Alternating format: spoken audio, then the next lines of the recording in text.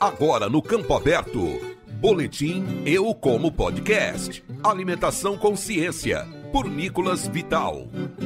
Bom dia, amigos do Campo Aberto. Eu sou Nicolas Vital e esse é o Boletim Eu Como Podcast. Sempre falando de alimentação com ciência.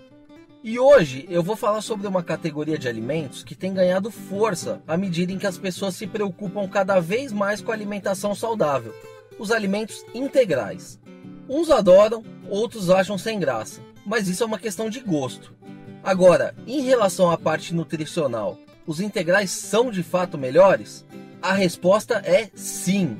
Isso porque os produtos integrais usam os grãos inteiros dos cereais, com a casca e o germen, além da parte farinácea. A casca e o germen, que são descartados na produção da farinha refinada convencional, são ricos em fibras, proteínas, lipídios e importantes micronutrientes, como vitaminas e minerais. Por isso, a superioridade desses alimentos.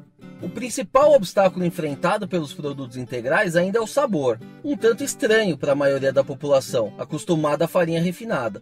Isso, aliado aos preços mais elevados, acaba espantando os consumidores. A ciência, no entanto, pode ser uma aliada dos alimentos integrais no futuro.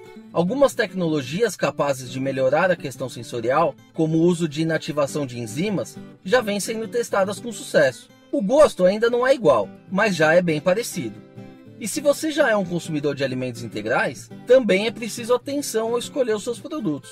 Isso porque hoje não existe uma legislação clara no Brasil. A falta de regulamentação permite que alimentos com apenas 1% de grãos integrais possam ser rotulados como tais. Essa situação chamou a atenção da Anvisa, que recentemente abriu uma consulta pública para definir os requisitos para a identificação e rotulagem de alimentos integrais no país. Essa consulta pública está aberta no site da Anvisa até o próximo dia 15 de junho. Se você acha que pode contribuir para essa discussão, não deixe de participar. Agora, se você quiser saber mais sobre os alimentos integrais, acesse o site eucomo.com ou os nossos canais no Spotify ou no YouTube.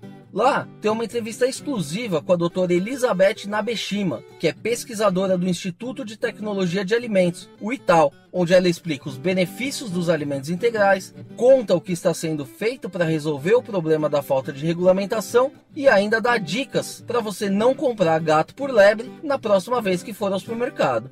Por hoje é isso e até a semana que vem.